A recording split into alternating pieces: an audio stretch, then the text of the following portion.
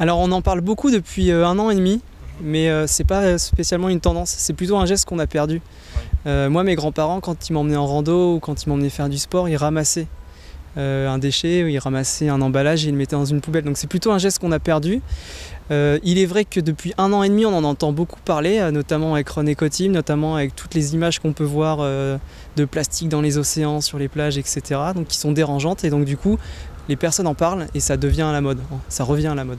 Quand on, ça saccade le, run, forcément, les footballeurs le font, hein. c'est un geste qu'on fait pour travailler les, adducteurs.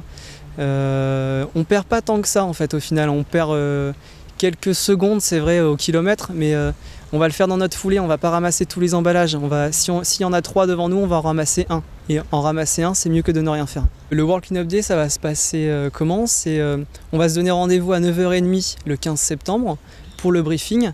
Et euh, on partira à 10h. Donc on va faire pendant deux heures des éco-runs et des éco-randos. Donc concrètement, c'est quoi Euh, Les gens vont se répartir la citadelle, l'intérieur, l'extérieur, les bords de et les rues autour de, la citadelle. Et on va ramasser là non pas un run, un déchet, on va ramasser tous les déchets qu'on trouve. Donc c'est-à-dire que là, faut, on va pas venir pour venir faire une performance. On vient là vraiment pour mêler le sport à- au nettoyage de la planète. Et donc nous, on est à peu près euh, 500 personnes euh, sur, la, sur les Hauts-de-France. Euh, donner des chiffres, c'est assez vague. On sait qu'un éco-runner ramasse en moyenne 1,5 kg de déchets par run.